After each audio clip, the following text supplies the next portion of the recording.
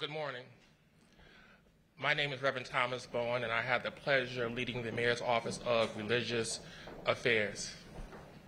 Let's get started. Inhale. Exhale. My mom was one of 16 children born in South Carolina and raised in Apex, North Carolina until she made that pilgrimage on the Great Migration to Ohio, what D.C. native Isabel Wilkerson calls the search for the warmth of other suns. Now, why they continued from North Carolina to Ohio and did not stop in D.C., I do not know. But I corrected that mistake in 1996. She was one of 16. When she got to Ohio, my siblings and I, we formed a family that was seven of us the entirety. My mom brought with her from North Carolina and South Carolina something she had learned from growing up in such a large family, and that is treat everyone equally, but do not treat everyone the same. Here in Washington, D.C., we try to treat 700,000 plus residents equally. But this season reminds us that we ought not treat everyone the same. For all of us, as Marian Edelman tells us, grow up with unequal childhoods.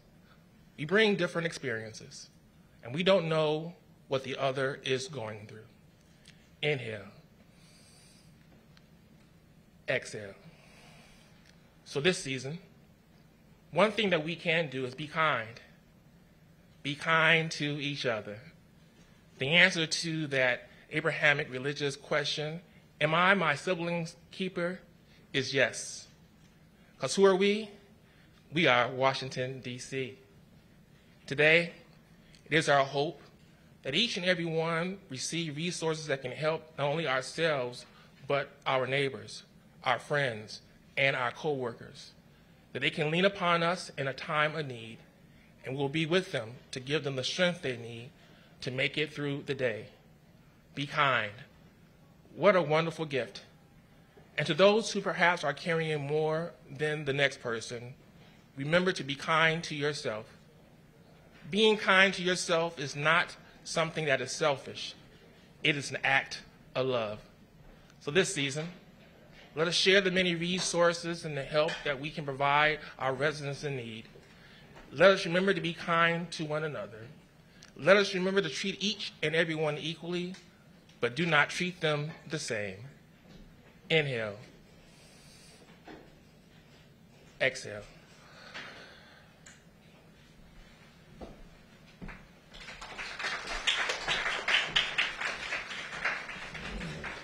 Shorter. Thank you so much for those uh, for just grounding us. I appreciate it. So welcome to uh, the Latin American Youth Center. It is so good to have you, Mayor Bowser. I know you've been very busy lately.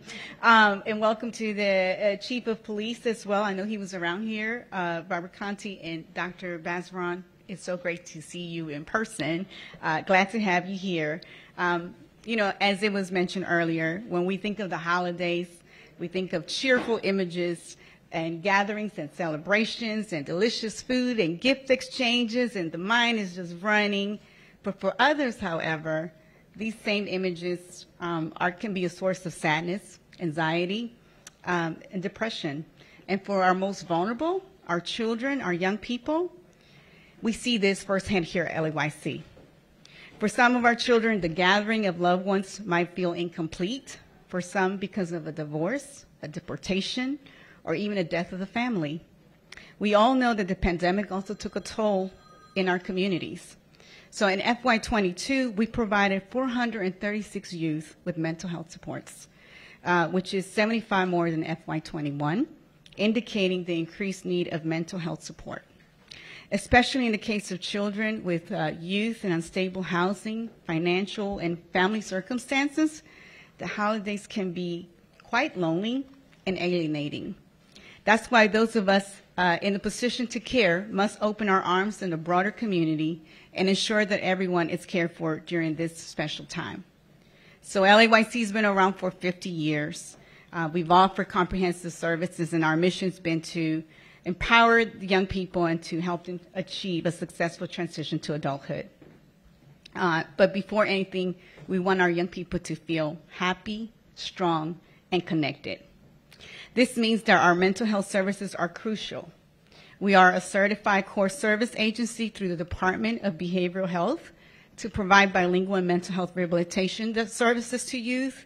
Um, currently, Dr. Bowser has been very gracious in supporting our efforts to become national accreditation, so we are very grateful for that. And because of our partnership and the additional funding we have been that we received, we have been able to support mental health supports for 11 district public schools.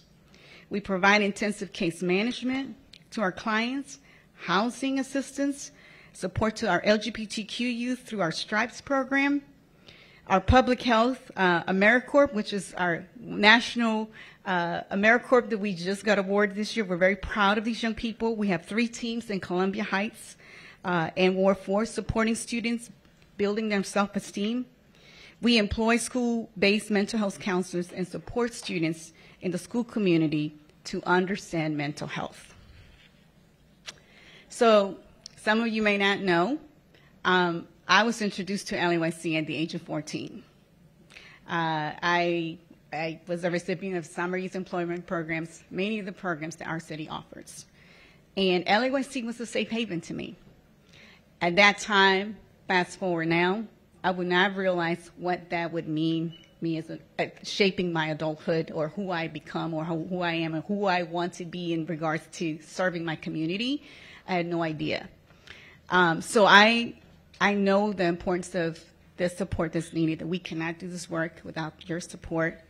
And our staff is working uh, very uh, intentionally and even at this time during the holidays, not forgetting the needs that we're seeing through your support, Dr. Bazron, and, and the guidance that you've gotten, that we've, I've been in these meetings with you, we're able to see our teams provide guidance even during the holidays and letting our young people know that it is okay to be sad during the holidays. Uh, counselors are also providing food for the break, even though students aren't coming to school. We're, we know that that is part of uh, critical to mental health. We are have clinicians supporting our young people around coping skills and grief surrounding the holidays and um, and we also have clinicians that are making themselves available during the holidays. So it is an honor uh, to be part of today's program. Uh, thank you again for your guidance. Um, it is encouraging to work with DC leadership who recognizes the challenges and burdens that our children, our young people, and our communities face. I thank you, Mayor Bowser, for your leadership, support of LAYC youth and families, um, most importantly, for you being able to have this critical conversation around and encouraging our DC fellow uh, residents to care for one another, especially during the holidays. So next, um, you will hear from Nevaeh Bright, a 17-year-old public health AmeriCorps member, big time senior at Coolidge High School. All right, come up.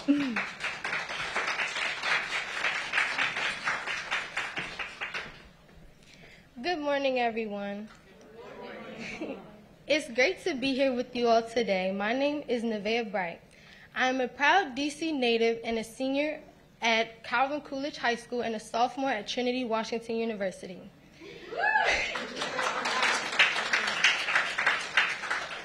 I'm excited to have the opportunity to introduce someone who needs no introduction, Mayor Bowser. Um, as an LAYC Public Health AmeriCorps member, I am grateful to have Mayor Bowser supporting our, um, our efforts um, here at LAYC in raising the awareness around mental health. As a high school student, it means a lot to me personally to have you here today understanding and seeing our needs. I am more aware that counseling is needed and that we have to normalize seeking help. I, like Mayor Bowser, want to be a part of the solution. As an AmeriCorps member, I pledge to serve my community and help create a safe space for youth like myself so that they do not feel alone. Please, everyone, help me welcome Mayor Bowser.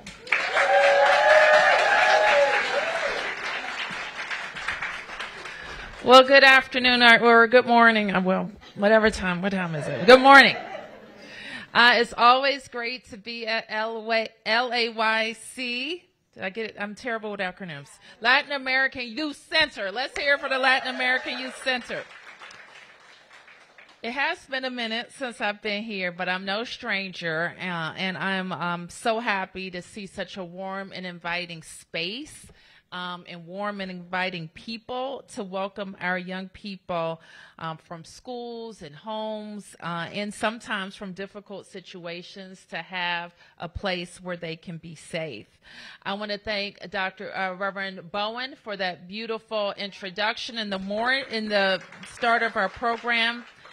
and Dr. Bazron, uh, who is a wonderful leader in our behavioral health community, uh, who works with her colleagues across DC government uh, to make sure we're talking about mental health and all uh, that the government uh, can do to support families in our system. It's always good to see Sonora Simpson and be in her presence. I want to thank you for your uh, leadership as well. And we know that trusted organizations like LAYC um, are, are so important to what the government is able to do. So I want to thank you, Ms. Quinteros Grady, for your leadership here. Uh, and for all of the people who work here who are um, really mission focused, I know, on um, helping young people thrive.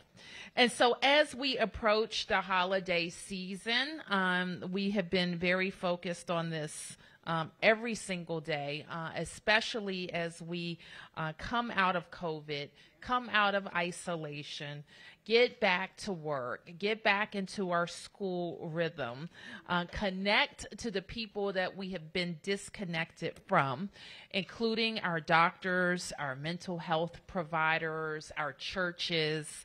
Uh, it is so important uh, that we uh, reconnect to the social network that makes people feel good, that makes us healthy um, but also acts as a warning system um, when things aren't right. Uh, and we are especially uh, concerned about that when it comes to our children. Uh, so, all of the, the programs in the government, we want to uh, highlight and I sometimes am discouraged because people won't know about some of the wonderful free programs that we have, like the CFSA uh, Family Success Centers that are managed in wards five, seven, and eight. I sometimes get concerned when people also don't know about the emergency help that's available, our crisis lifeline uh, that you can get by dialing the number you see here at triple eight seven we help um, that will allow you to access our hotline.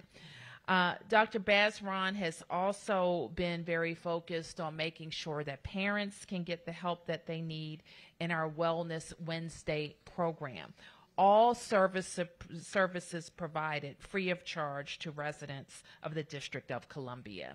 Uh, so I want to, uh, first and foremost, as has already been mentioned, ask you if you're not feeling well.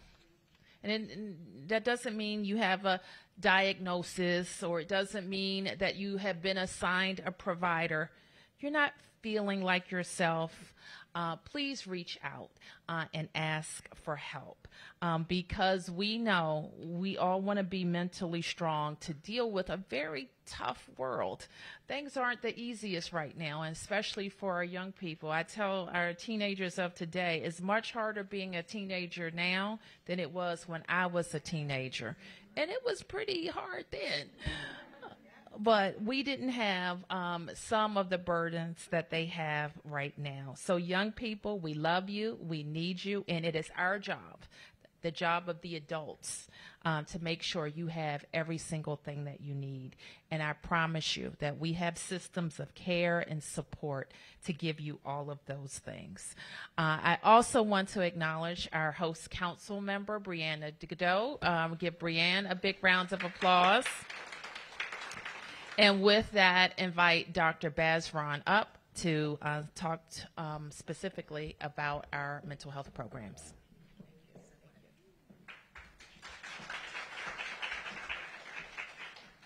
Good morning, everyone. And thank you, Mayor Bowser, for your leadership and commitment for giving every resident an opportunity for a healthy life. This is so important.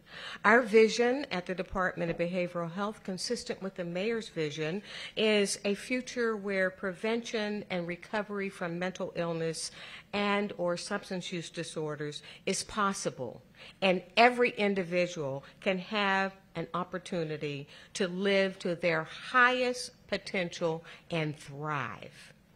Mental illness and or addiction should not limit the potential of anyone to pursue their dreams, nor should it be a predictor of uncontrolled physical illness or early death.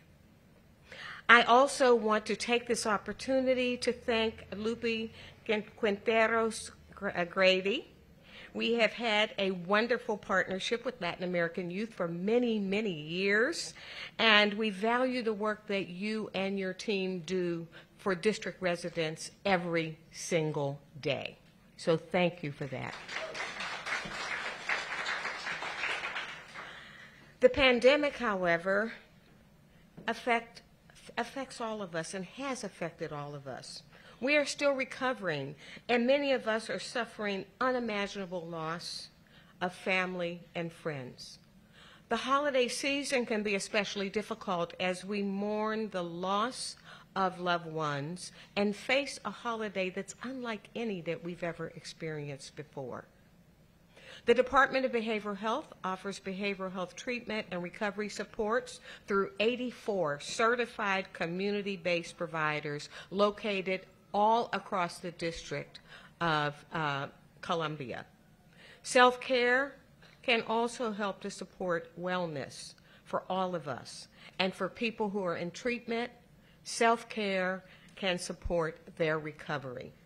Self-care means taking the time to do things that help you live well and improve both your physical health and your mental health. And remember, mental health is a critical part of physical health. Self-care can help you manage stress, boost your mood, and lower your risk of illness. Even small acts of self-care in your daily life can have a big impact. Self-care, however, looks different for everyone, and it is important to find what you need and enjoy. It may take trial and error to discover what works best for you. I want to, however, give you a few ideas of what you might do during this holiday season. Get regular exercise. Just 30 minutes of walking every day can make a big difference. Just 30 minutes. Eat healthy, regular meals, and stay hydrated. We're all in the holiday season. All those treats are out there. So let's remember to eat healthy and to make sure we hydrate. Water is really important, and it does affect your overall well-being. Make sleep a priority. Those of you who are going to be up putting together toys and gifts, make sure that you get the sleep that you need and that you skip to, stick to a schedule during this season. Try a relaxing uh, activity. Uh, the, uh, the minister that was up first told, talk, gave us some relaxation tips. Take in that deep breath, breathe out. That helps us. Meditation and other kinds of relaxation activities also have a calming effect. Set goals and priorities. Learn to say no. Hard for most of us if you start to feel like you're taking on too much. Try to be mindful of what you have accomplished at the end of each day and really push back on those things that you haven't been able to do. Celebrate your successes. Practice gratitude. Remind yourself daily of things you are grateful for. Be specific. Think about it at the end of the day and really congratulate yourself on what you are really grat- great, uh, grateful for. Focus on po- positivity. Identify and challenge these negative thoughts. And most of all, one of the things that I feel is most important is for you to stay connected. Reach out to your friends or family members who can provide emotional support and practical help. And last of all, find joy during the holiday season.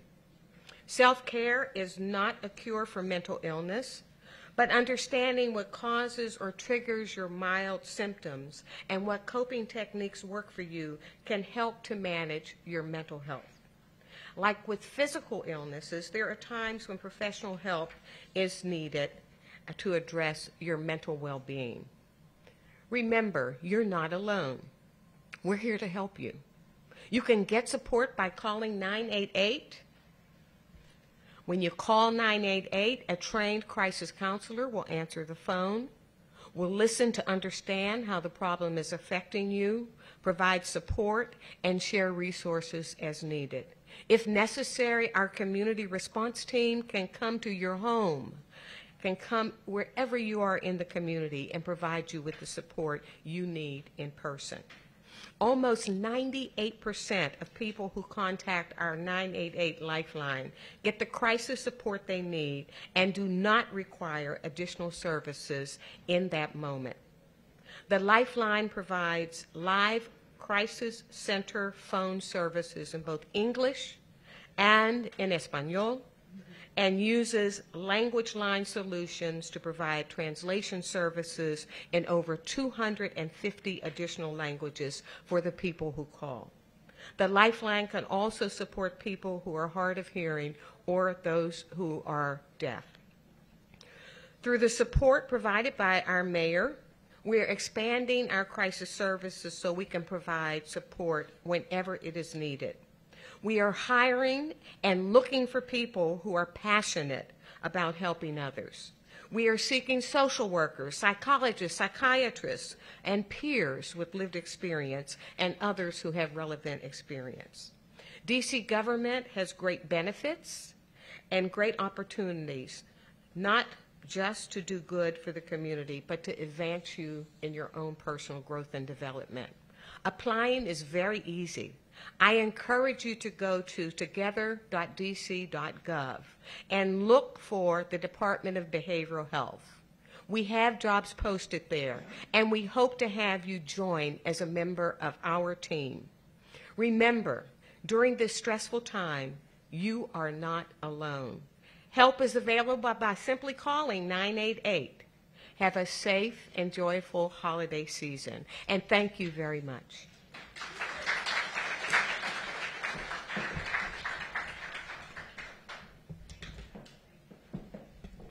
Thank you, Dr. Bazron. And let me now invite the Ward 1 Council Member, Brianne Nadeau.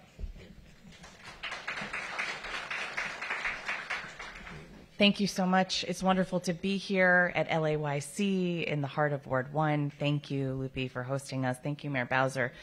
Thank you, Dr. Bazron. Um, some of you may be old enough to remember the time before 911 existed. You don't have to raise your hands.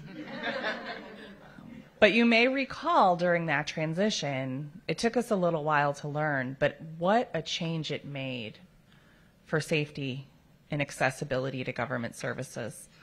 And then 311 came around and the same kind of change.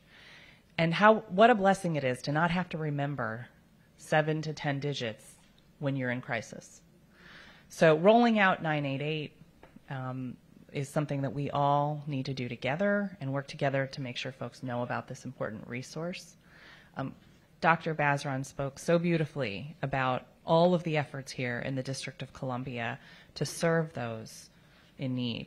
And um, we know that very well in Ward 1, um, the struggles that people are facing right now, because we are the heart of the city. We are the melting pot of the city. And Columbia Heights itself is really what I think of as that, that beating heart of the District of Columbia, and we know we see everyday people out there struggling. Um, so I want to thank Mayor Bowser and Dr. Bazron um, and our partners at District Bridges in particular for helping with the pilot that we've been doing this year to provide um, substance use disorder and behavioral health services to those on Columbia Heights Plaza specifically um, to help um, get so many, many people into treatment this year and to show that when we dedicate those resources and we give people that personal connection and help them see that someone cares about them, that they can make a change that helps their lives, that they can be healthy and they can be supported. Um, and and as we go into this holiday season, those are the things that I'm going to carry with me. That as a community, we know we are good at this. We know how to lift people up when they're down And by working together, we can continue to do that. So thank you, Mayor Bowser. Thank you. Thank you. Thank you.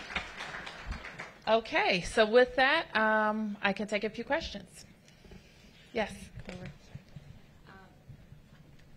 Mayor Bowser, so obviously mental health has never been more important than it is right now in this day and age.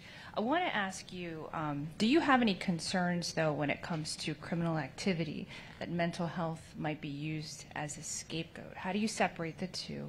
And as a big city mayor, how do you address mental health when, when it comes to adults, for example, the gentleman who had an episode where he was he shot at police and then he was climbing wires, that because he's an adult, he can leave a program and the doctors don't have to share that information with his family who's a support for him how do you address that as a big city mayor Okay, the first, you had a first part to your question. Give me that again. Criminal activity are you concerned that mental health is being used as a scapegoat for some people committing criminal activity? How do you separate the two? Well, um, our our job is to make sure if someone has committed a crime that the criminal justice system deals with them, and judges and doctors will determine um, what their capacity is to to stand trial.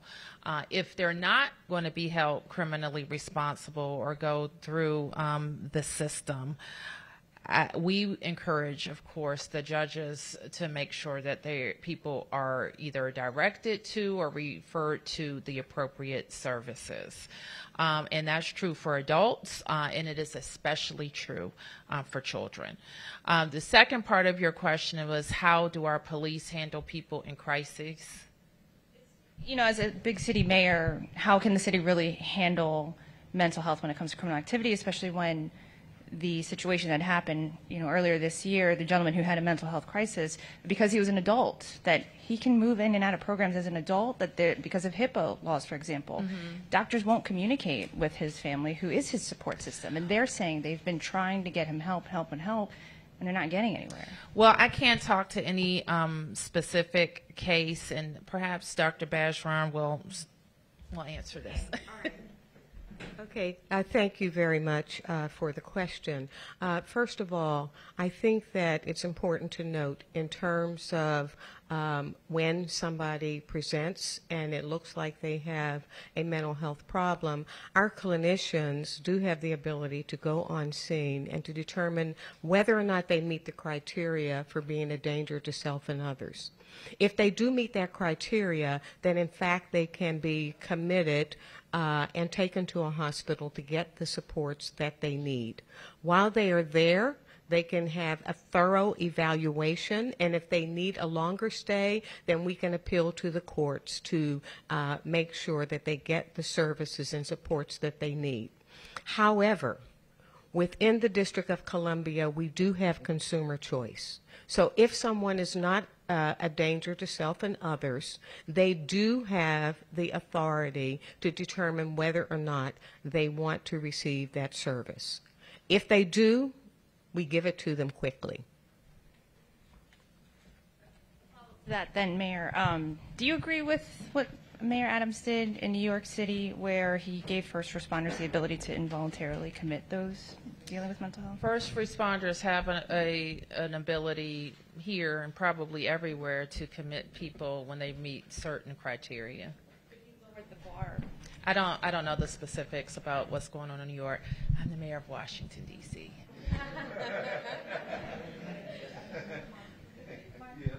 Okay, Mark. Uh, yeah, for Dr. Bazron, can you, you know, I think the narrative we hear a lot this time of year is that suicide goes up around the holidays. And I see you shaking your head. What, what can you tell us about the reality of that? Uh, well, the reality is, in terms of all of the data that has been collected, um, that suicide does not go up during the holiday season. That is not the case. And so during the holiday season, we do encourage uh, all residents, just like I said earlier, to mind their mental health and to do those things that really um, uh, uh, bring them a joy and help them in terms of their overall functioning. And if they need support, they should call 988.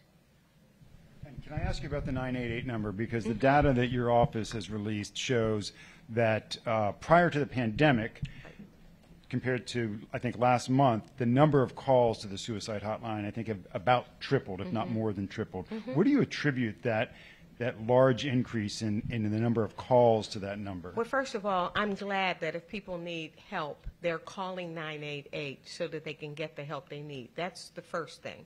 The second thing is we have done a lot of community education so that people know how to get the services and supports they need. And so in the past, they may not have wanted to rem- remember a 10-digit number. 988 is very easy to remember, and people are using that number, and I am pleased with that. And I have, I have one last question. If, if you have a friend or a loved one who you believe is not acting like they normally do, and you believe that maybe they are struggling uh, with mental health issues, what's the best way for a loved one or a friend or a colleague to approach that person? Uh, well, first of all, talk to them and find out what's bothering them. Find out if they are uh, do have any plans to, to hurt themselves. That's step one. And if they do have plans to help themselves, then seek help. Seek professional help. Yes. What's the largest battle or hurdle you have with getting youth to come to a place like this?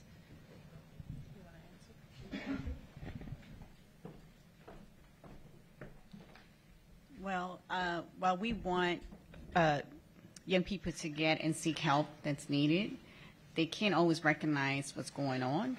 And also, sometimes if you've uh, undergone, and we've seen a lot of young people with different trauma, it's not easy to to want that help. So we have to work at that pace. And so our approach is holistic in a way where you heard as you heard me mention earlier, if a family needs food, we're not just going to be like, oh, you're needing mental health. We're going to address food.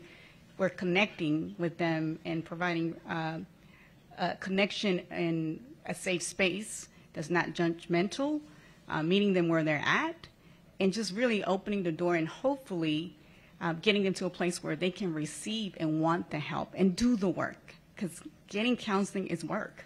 It's work that you have to agree to do and to be part of that and to resolve those things. So it's not easy for young people. It's not easy for adults. It's definitely not easy for young people. So, so our approach is it's it's holistic in how we look at helping a young person and, and their families.